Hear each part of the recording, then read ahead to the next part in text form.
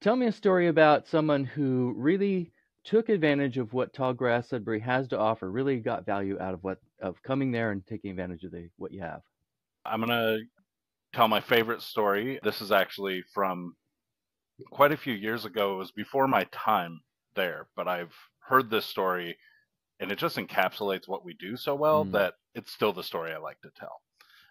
So we had a student that had gone through our gone through our school pretty much from the time that they were they started kind of we don't really use grades, but to say sixth grade age Mm-hmm. and went all the way through their their graduation all the way through until they were ready to go out into the world.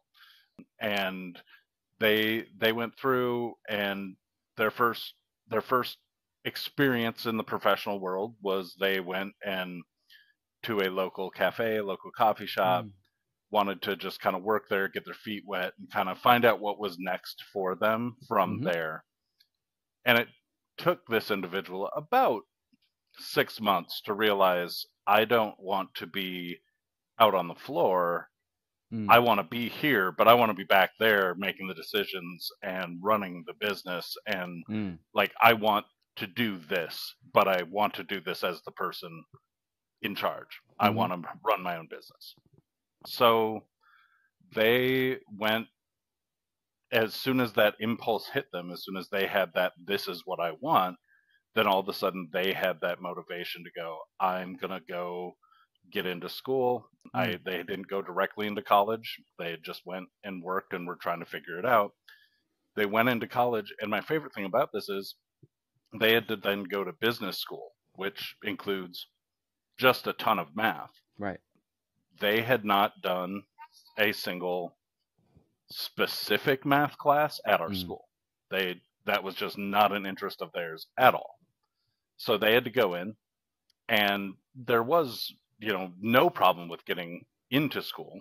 They Mhm. got into school, had to do they did have to do some placement testing to get into the program, take a couple of classes to kind of catch up on those some of those skills.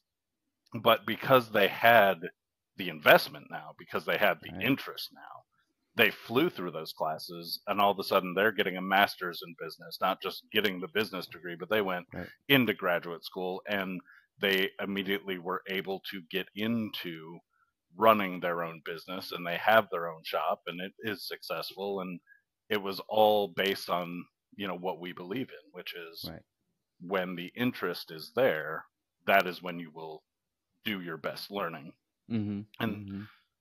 and their path was was taking that time to figure out what do I want instead of you know the opposite that we see so often in other settings where you know it's kind of given to you like Right, here are your things and well I guess I did good at science so I'm going to go into science Mm-hmm. um, mm-hmm. this was I made my path and had all of the confidence which is really what right. I love right. about what we do to go, oh, this is what I want to do. It's going to take me a little bit more work to get started, but now I, w- I know what I want and I'm fine. I can go do that. And I'm just going to take the ball and run with it. Right, right.